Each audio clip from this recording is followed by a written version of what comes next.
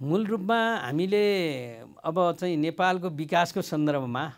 जसरी अब चाहिँ समग्र स्थिति हेर्दाखेरि सबै अब जिल्लाहरू सबै पालिकाहरू हेर्दाखेरि हामीले विकास गर्ने कुरा हाम्रा समस्याको बारेमा हामीले विगतदेखि नै हामी निर्वाचित भइसकेपछि पनि प्रदेशको माननीय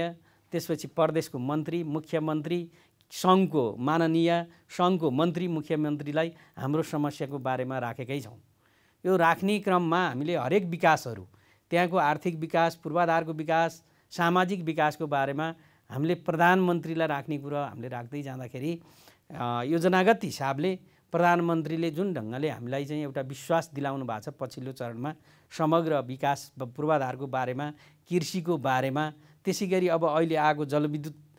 यो बाह्र सय मेगावाटको बुढी गण्डकी आयोजनाको बारेमा एउटा प्रकारको विश्वास चाहिँ अहिले छलफल गरेर सायद बजेटमा नि समेटिएर अगाडि बढ्छ भन्ने विश्वास चाहिँ हामीलाई लागेको छ। हामीले यस्ता विषयवस्तुहरू कर्मश उठाइरहेछौँ। तैपनि विगतको एउटा परम्परा विगतको सिस्टमले गर्दाखेरि त्यो चाहिँ चेन्ज हुने कुरा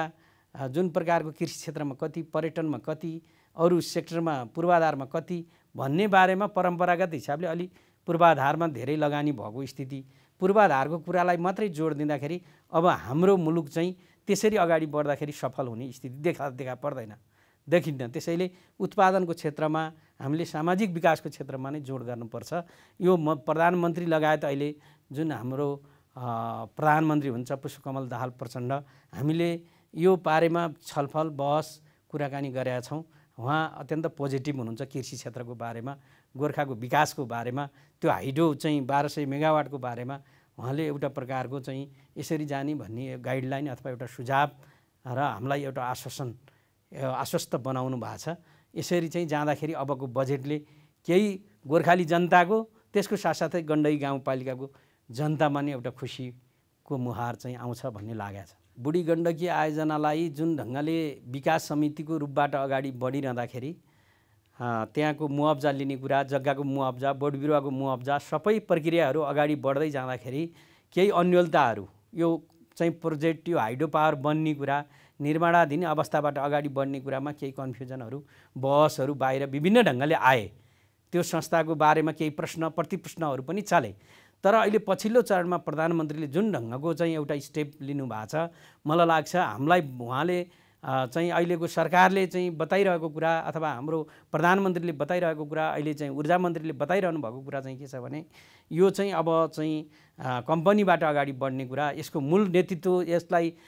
सम्पन्न गर्नको निम्ति यहाँनिर नेपाल विद्युत प्राधिकरणले नै यसलाई जिम्मा लिएर अगाडि बढ्ने कुरा अहिलेको चाहिँ मुख्य चाहिँ भूमिका हुन्छ। नेपाल विद्युत प्राधिकरणले अगाडि बढाउँदाखेरि यसको समग्र रूपमा यसलाई चाहिँ अनुभवको हिसाबले कार्यक्षमताको हिसाबले विद्युत प्राधिकरणले गर्दा त्यसलाई सम्पन्न गर्न सक्छ त्यसलाई व्यवस्थापन गर्न सक्छ भन्ने हिसाबले अब छिट्टै नै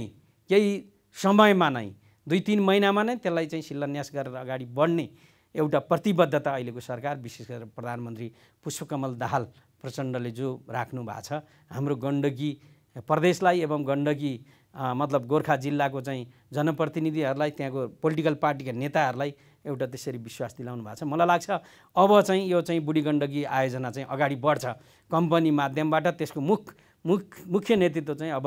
नेपाल विद्युत प्राधिकरणले नै त्यसलाई सम्पन्न गर्ने योजनाका साथ अगाडि बढ्छ भन्ने विश्वास मलाई लागेको छ।